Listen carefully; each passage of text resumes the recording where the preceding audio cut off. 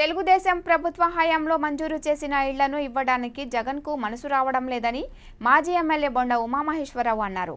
Vijayawada TDP కార్యాలయంలో జరిగిన media సమావేశంలో బొండ ఉమామహేశ్వరరావు మాట్లాడారు. చంద్రబాబు ఎనిమిది లక్షల ఇళ్ళను ఆధునిక వసతులతో నిర్మించారన్నారు. రంగులు వేసి ఇచ్చే స్థాయిలో ఇళ్ళు ఉన్నాయన్నారు. ఈలోపు ఇవ్వకపోతే సంక్రాంతి నాటికి పేదవారితో మేమే గృహప్రవేశం చేయిస్తామని బొండ ఉమా హెచ్చరించారు. ఈ సమావేశంలో నవనీతం సాంశివరావు తదితరులు పాల్గొన్నారు.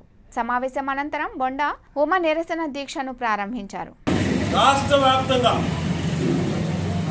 ఆయన చేసినటువంటి ప్రతి పాదయాత్ర ప్రతి మీటింగ్లో కూడా రాష్ట్రంలో ఉన్నటువంటి పేద వర్గాలకి అందరికీ కూడా ఉచితంగా ఇల్లు కట్టిస్తానని చెప్పి ఆయన చెప్పినటువంటి అనేక అబద్ధాలతో పాటు సొంత ఇంటిని ప్రతి పేదవాడికి ఇల్లు కట్టిస్తానని చెప్పి పక్కాగా ఆయన హామీ ఇచ్చాడు.